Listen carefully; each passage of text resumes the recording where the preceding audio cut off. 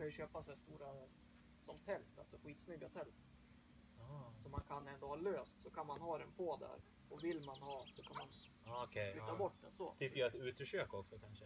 Med... Ja, det, det vill jag göra. Såg du i... Har ni fått se hela bladet? Ja, jo. De ska ju riva det här gamla tegelbruket.